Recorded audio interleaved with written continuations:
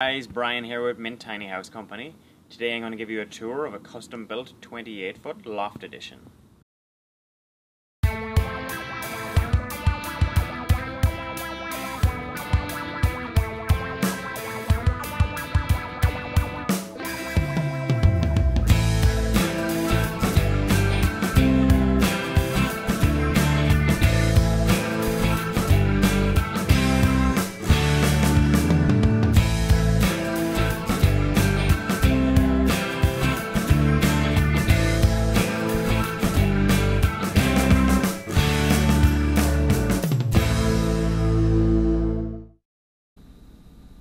Okay guys, so welcome to the inside of this lovely 28 foot Loft Edition.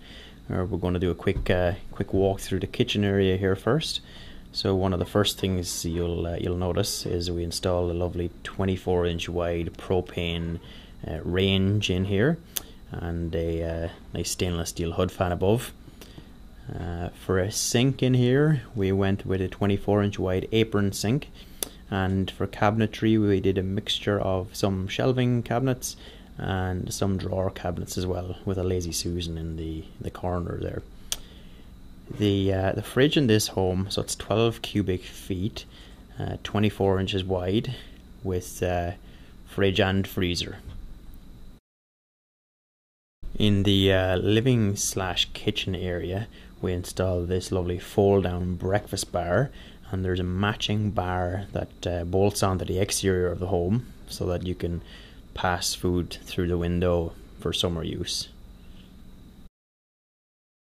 So in the living area we custom built a staircase uh, which leads to the main loft and uh, there's lots of space in this staircase for hanging clothes and uh, each step actually opens up as well to provide uh, more storage space. So every every inch of space in this staircase has been utilized. In the living area, then uh, space for a sofa with a TV on the uh, the wall opposite it. Uh, all of the connections are in place, so the buyer can install this themselves at a later date. And uh, we also installed a Velux window in this uh, in the living area here.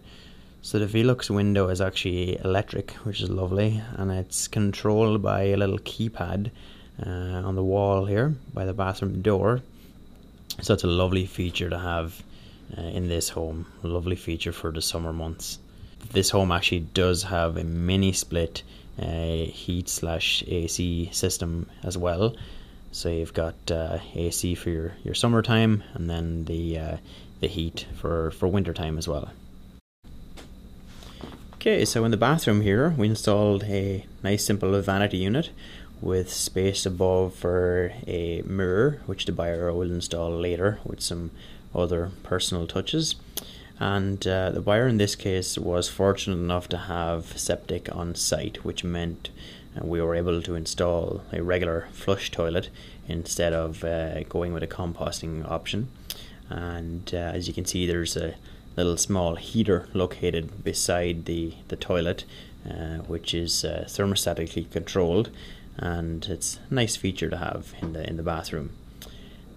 This bathroom actually has a three foot by three foot shower stall uh, with a uh, full glass door, so it's quite a large uh, shower for a tiny home and there's also space in here for a washer dryer. Uh, you could install either a washer dryer stacking kit or the single combination unit with space for hanging clothes above.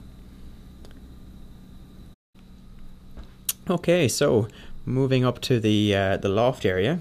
So this is the main sleeping loft of the home. Uh, there's lots of space up here so you could add in some additional storage uh, options in here afterwards. Um, recess lighting in the uh, in the ceiling, some wall sconces for reading lights, uh, switches controlling the downstairs lighting uh, as well as the the loft lighting, which is a nice feature to have, and some power outlets with uh, with USB connections. We got three opening windows in here as well. And uh, lastly, moving on to the uh, the storage loft, or it could be a secondary sleeping loft. It's got enough space for a, a double mattress up here, but in this case, uh, the uh, the owner is going to use it for a little reading nook and uh, also for some uh, some extra storage. Okay, guys, so that was just a brief tour of this home. One thing to note about this home is it is fully RV certified, so financing is available. If you have any questions regarding financing or regarding this home or more of our homes, just log on to our website, minttinyhomes.com, or you can email us at minttinyhomes at gmail.com. Cheers.